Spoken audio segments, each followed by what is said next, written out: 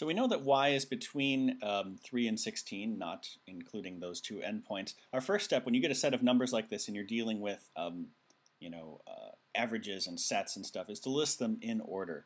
So that set then is going to be 4, 5, 8, 10, 12, and 15.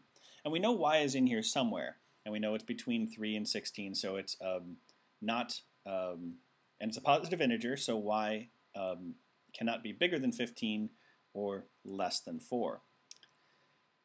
And we know that y does not equal 9, and so the median in the list, if y is not in here, the median in the list is right between these two numbers. So the median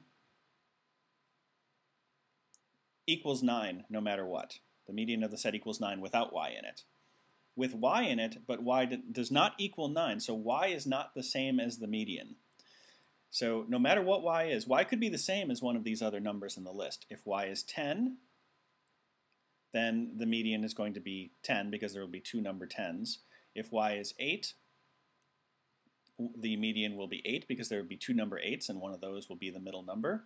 Um, and uh, so from there, um, then the only other possibility is any other larger number. So if, if y is 11 or 7 or 14 or 5, any of these other numbers uh, possible for y still leaves either 8 or 10 as the actual median of the set. So that's choice C.